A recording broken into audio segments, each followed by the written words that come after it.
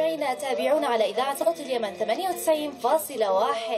أصدروا حكما نهائيا بتأييد وقف إذاعته صوت اليمن وشرعنوا ما تعرضت له الإذاعة قبل سنوات من اقتحام ونهب ومصادرة معداتها وإغلاقها. وقالوا للمحكوم ضده مالك الإذاعة عد إلى قريتك وتعلم الزراعة ومن أنت حتى تمتلك إذاعة؟ هكذا بكل نابية وصلف ووضوح ردد قاضي الاستئناف كلماته في قاعة المحكمة بصنعاء يوم الأحد لتردد أصداء الكلمات العنصرية على نطاق واسع ويسود الاستياء في أوساط الناشطين.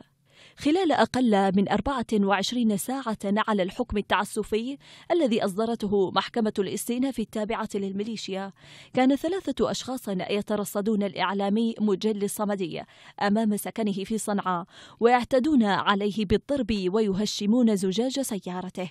يعد الصمدي واحدا من ضحايا الإرهاب الحوثي والعنصرية السلالية المستقوية بسلاح الدولة. تعرض للاعتداء عدة مرات من عناصر دفعت بهم الميليشيا وفق مصادر في صنعاء في محاولة لإسكاته عن المطالبة بأبسط حقوقه. لم تكن إذاعة صوت اليمن سوى إذاعة خاصة تبث من صنعاء لا تتطرق إلى الجانب السياسي بأي شكل كان فقد كانت إذاعة فنية وقد أتاحت من وقتها إلزاما ساعة لبث ما تريده الميليشيا. غير أن كل ذلك لم يرق لزعماء العصابة الذي لم يستقر لهم قرار حتى أرسلوا مسلحيهم قبل سنوات لاقتحام الإذاعة ونهب كافة أجهزتها ومعداتها وإغلاقها.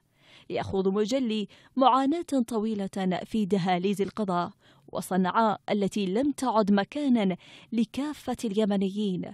بل أضحت غابة يترصد فيها حوثة صعدة كل اليمنيين لافتراسهم والنيل منهم ورصد أنفاسهم وتحركاتهم في قمع ممنهج وغير مبرر. في البداية حصل الصمدي بعد عناء طويل على حكم محكمة ابتدائية بفتح إذاعته وإعادة معداتها إليه ليتم في مرحلة الاستئناف إسقاط الحكم وتأييد الإغلاق والاقتحام السابق وعملية المصادرة والنهب. ولم ينس قاضي المحكمة توجيه نصيحة للإعلامي الصمدي بترك كل شيء والعودة إلى قريته للزراعة.